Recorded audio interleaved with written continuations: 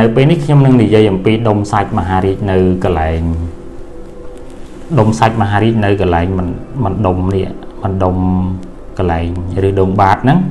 ហើយនឹងតំបន់សិចមួយអ៊ីតនេះកន្លែងស្តុកលិមួកនេះនៅខាងលើបេតិនេតឡាញតិចហ្នឹងដុំសាច់កន្លែងហ្នឹងអឺបើសិនជាវាតូចតាចល្មមដូចវានៅក្នុងកម្រិត0កម្រិត1កម្រិត2កម្រិត3កម្រិត4កម្រិត5 នៅក្នុងកម្រិត0កម្រិត1កម្រិត2កម្រិត3ភាគច្រើនអ្នកជំងឺមិនអាចដឹងថាដុំសាច់ហ្នឹងវាជាមហារីកទេអ្នកខ្លះអ្នកខ្លះដល់ទៅដល់កម្រិតទី4ទី5ហើយក៏នៅតែគាត់អត់យល់ថាអានឹងវាជាដុំសាច់មហារីកដែរជាពិសេសគ្រូបុរាណ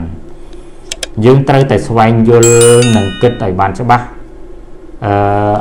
ឲ្យបានច្បាស់ថាដុំនឹងវាជាដុំឬដុំបាតឬក៏ជាដុំសាច់មហារាជមួយទៀតសំខាន់គឺគាត់តែងតែយល់ថាការវះកាត់ឬដុំបាតคล้ายទៅជាមហារាជ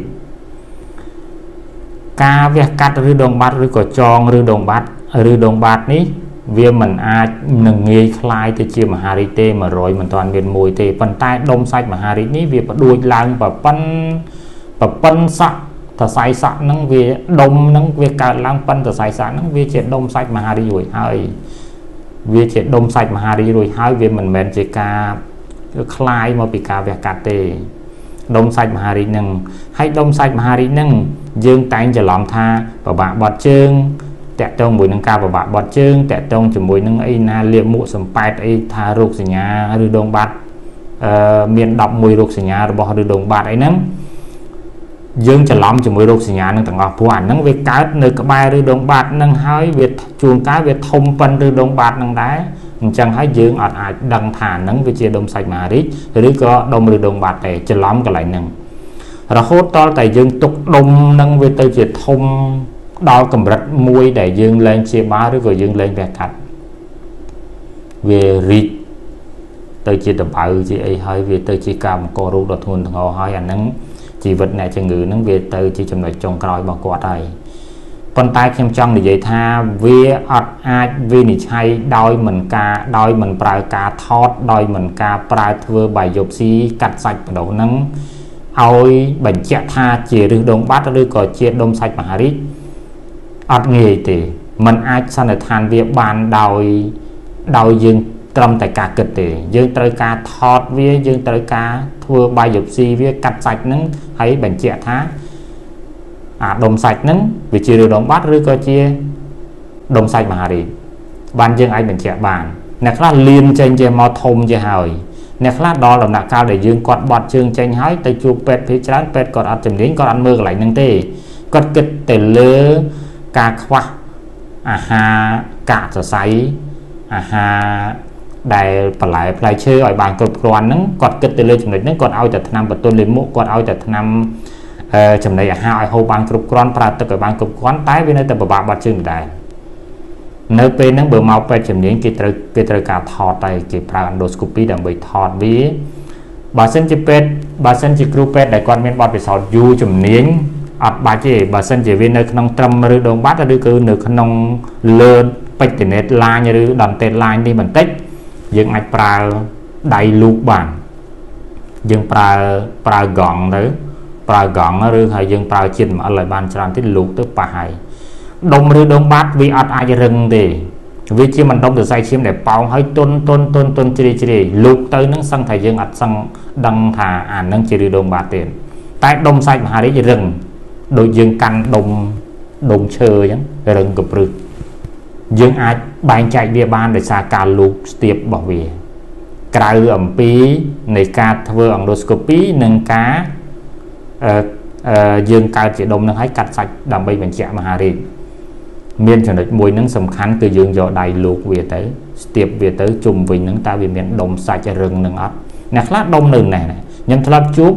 មានគ្រូពេទ្យមិនមែនជាមនុស្សធម្មតាទេ ជាគ្រូពេទ្យប៉ុន្តែគាត់មកបញ្យន្តបត់គាត់សង្ស័យគាត់ គាត់ថាអានឹងជាឬដុំបាដែរដុំនឹងវាអត់បែកទេព្រោះគាត់ពេទ្យគាត់បកកែថែរក្សាបានល្អហើយដុំនឹងវាឡើងប៉ោងប្រប៉ិនមេដៃមកប៉ុន្តែត្រូវចាំថាដុំដុំសាច់មហារាជបើវាកើតឡើងប៉ោងអញ្ចឹងហើយវាត្រូវអត្តរង់ជាមួយសាច់ដុំនេះអា Maxwell Winter នេះអាត់ដរងឬក៏វា fix ជាប់ជាមួយនឹងសាច់ដុំហ្នឹងគឺបានវារឹងបានវាសាច់ដុំបានជាអាដុំហ្នឹងវាទៅជារឹងដោយសារវា fix ជាមួយសាច់ដុំនេះជាមួយ Maxwell Winter នេះ fix ជាប់ប៉ុណ្ណឹងហើយដុំហ្នឹងទៅជារឹងយើងអាចសន្និដ្ឋានវាបានតែប៉ុណ្ណឹងទេมันងាយទេនៅក្នុងនៅក្នុងការបញ្ជាក់ឲ្យយើងដឹងថានៅក្នុងកម្រិតមួយដែលយើងវះកាត់ទៅជោគជ័យគឺពិបាកប្រជាជនមិនសូវទេដូចជាមិនសូវគិតរឿងដែលអឺទៅពីគ្រោះប្រឹក្សាជាមួយនឹងតាក់ទងជាមួយហ៊ុនគូតនឹងជាមួយនឹងគ្រូពេទ្យជំនាញដើម្បីឲ្យដឹងច្បាស់ថាអានឹងវាមិនមែនឬក៏អត់ទេ គឺគាត់អត់ព្រមធ្វើគាត់ថាចំណាយលុយច្រើនចំណាយពេលវេលាច្រើនដូចយើងទៅពេទ្យរដ្ឋអញ្ចឹងគាត់ចំណាយពេលអង្គុយរងចាំអីចឹងទៅគាត់ខ្ជិលគាត់អីចឹងតែប៉ុន្តែគាត់ភ្លេចថាការគ្រោះថ្នាក់របស់គាត់កន្លែងហ្នឹងគឺវាគ្រោះថ្នាក់ដល់អាយុជីវិតដល់តែពេលគាត់មានអញ្ចឹងហើយហ្នឹងគាត់ចាប់ដើមលះបង់ហ៎អូលោកគ្រូព្យាបាលធ្វើមិនឲ្យជាលុយគាត់ចាយឡើងកើតដល់ពេលដែលវាកើតដុំអញ្ចឹងបើសិនជាដុំវាធំនៅក្នុងកម្រិតមួយដែលធំត្រូវការវាកាត់ប៉ុន្តែការវាកាត់របស់ឬដងបាតរបស់ដុំសាច់មហារីក បើសិនជាធំបើគេវះកាត់ក៏គេមិនវះកាត់ឲ្យជាដែរកន្លែងហ្នឹងក៏ជាលក្ខណៈសំខាន់មួយដែរវះកាត់ហើយកន្លែងហ្នឹងដល់គាត់ទៅផ្ទះវិញគាត់អត់ហ៊ានថាគូតគាត់នឹងមហារីទេគាត់ថាគូតគាត់នឹងជាឬដងបាតអញ្ចឹងអ្នកដតីដែលគាត់សួរគាត់សួរនាំអីថាំងអាហ្នឹងចឹងគាត់វះកាត់ទៅឬដងបាតហើយកំឡុងមួយខែពីរខែក្រោយមើលទៅតបៅនឹងអត់ជា ប្រជាជនគាត់ចាប់ដើមគិតតែផ្នែកកំណត់គាត់គិតមួយថាហ្នឹងមកវាអាហ្នឹងមកពីវះកាត់ឬដងបាតហើយបានកើតមហារីកហ្នឹងសំខាន់ខ្លួនគាត់ម្ចាស់ខ្លួនគាត់អត់ព្រមទទួលស្គាល់ថាដុំសាច់នឹងមហារីកទៀតខ្មាស់គេខ្លាចគេមើងងាយអីចឹងទៅឬក៏ខ្លាចគេថាឲ្យចឹងទៅទុកឲ្យវាហួសពេលចឹងទៅគាត់និយាយថាហ្នឹងខ្ញុំទៅវះកាត់ឬដងបាតប៉ុន្តែគេវះកាត់គឺគូតនេះចោលទាំងអស់ហើយគាត់ដឹងខ្លួនគាត់ពីច្រើនមុននឹងការវះកាត់គ្រូពេទ្យគឺគាត់ប្រាប់ ប្រាប់ហើយហើយប៉ុន្តែគាត់អត់ទទួលយកទេ នៅសេវាកម្មរបស់មន្ទីរពេទ្យរបស់យើងទាំងអស់មាននៅក្នុងរដ្ឋកម្ពុជាមន្ទីរពេទ្យធំធំដោយកាឡាម៉ែតដោយពេទ្យរុស៊ីដោយពេទ្យលោកសង្ឃអីទាំងអស់ហ្នឹងគឺសិតតែមានអ្នកឯកទេសជំនាញពិនិត្យអានឹងឲ្យបានច្បាស់លាស់យើងគួរតែចំណាយពេលវេលាខ្លះដើម្បីមើលសុខភាពកន្លែងហ្នឹង ភាគច្រើន9សឹងថា90% 97 98%អ្នកដែលមកព្យាបាលអ្នកដែលមកមើលកន្លែងហ្នឹងហើយជាដុំមហារាជភាគច្រើនគឺហួសពេលនឹងខាវកាត់ទៀតតាំងពីខ្ញុំមកធ្វើពេទ្យ20 30ឆ្នាំហើយមិនដែលឃើញវះកាត់ទៅជោគជ័យមួយទេវះកាត់ហើយគេតពវៀននេះឲ្យជួអាចតាមចាំងជំនីខាងឆ្វេងឬក៏ខាងស្ដាំអញ្ចឹងមកប៉ុន្តែអាគូតនឹងជួនកាលគេបើសិនជាវានៅកម្រិតទៀតអាគូតនឹងគេព្យាបាលឲ្យវាចិត្តតែម្ដង ប៉ុន្តែយើងបាត់ជើងទៅតាមចាំងជំនីហើយអាការបាញ់កាំរស្មីឬចាក់គីមីនឹងមិនកំណត់ថាជាទេគេគ្រាន់តែកាត់បន្ថយដើម្បីវះកាត់ដើម្បីកាត់បន្ថយគាត់ដើម្បីឲ្យអាយុគាត់បានវែងប៉ុណ្ណឹងមើលកូនមើលចៅអីថែមទៀតចឹងទៅតែឲ្យជាមិនកំណត់ថាជាទេខ្ញុំជួបតែមួយទេបងស្រីគាត់ចាក់ឲ្យលួយនេះចាក់នៅកន្លែងនេះដុំមហារីគាត់នឹងនៅខាងក្រៅនេះណានេះនៅអាចុងចុងសាច់ដុំ Maxus Winter នេះដុំគាត់ហើយជាប៉ុនមេដៃទេហើយរីកនៅកន្លែងហ្នឹងហើយគាត់ចាក់ថ្នាំឲ្យលួយគ្រូពេទ្យគឺសួរទៅដូចជាមិនមែនជាគ្រូពេទ្យទេគាត់ចាក់គាត់ចាក់ថ្នាំឲ្យលួយហ្នឹងគឺគាត់រៀនតាមគេមកគាត់ចាក់អាហ្នឹងគាត់ឃើញអាហ្នឹងប៉ោងប៉ោងគាត់ចាក់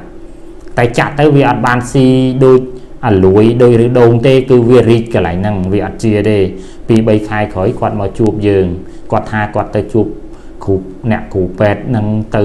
រាប់ដងហើយនៅតែអត់ជានៅតែហៀទឹកហៀអីរហូតវាមិននឹងជាព្រោះវាមិនមែនជាឬដងបាទច្រឡំទាំងអ្នកដែលចាក់នឹងខ្លួនគាត់នឹងក៏មិនច្បាស់ទៀតមកជួបពេទ្យពេទ្យមើលទៅថាបងត្រូវការវះកាត់គាត់ថាហេតុអីបានត្រូវការវះកាត់យើងប្រាប់គាត់តាមតង់ថាបងអានឹងដុំសាច់មហារាជណា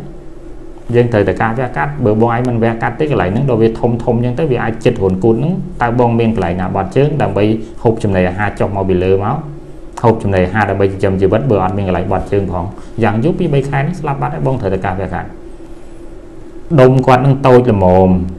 ការចាក់សាពី3ដងហ្នឹងមែនប៉ុន្តែដុំហ្នឹងវាតូចវាបែកចឹងគាត់ទៅខ្ញុំបញ្ជូនទៅគាត់អត់ចង់ទេគាត់ថាយើងនិយាយវាមិនច្បាស់ខ្ញុំបញ្ជូនគាត់ទៅវៀតណាម អ្នកខ្លះក៏ខ្ញុំទៅថៃទៅព្រោះគាត់អត់ទុកចិត្តថាពេទ្យខ្មែរអញ្ចឹងណាក៏យើងបញ្ជូនគាត់ទៅមកវិញឯកសារមកដូចតែយើងអញ្ចឹងដដែលនឹងឯងប៉ុន្តែគេវះកាត់ហើយហើយហើយបាញ់កាំរស្មីចាក់គីមីគាត់ឃើញគាត់មួយហ្នឹងនៅផ្សារដើមកោជាគាត់ទៅចាក់គីមីរហូតដល់ទៅចិត្តប្រមាណនោះប្រមាណខែនោះខ្ញុំអាសាទេទៅសួរគាត់ហើយមានគាត់មានអត់លុយណា គ្រួសារគាត់អីសិតតែ professor សិតតែអីបរៀនផ្នែកខាងសំណង់អីហ្នឹងលុយគាត់យកទៅណាប៉ុន្តែការព្យាបាលរបស់គាត់ការជ្រើសរើសព្យាបាលរបស់គាត់នេះវាទៅជាខុសបែបបត់បាទ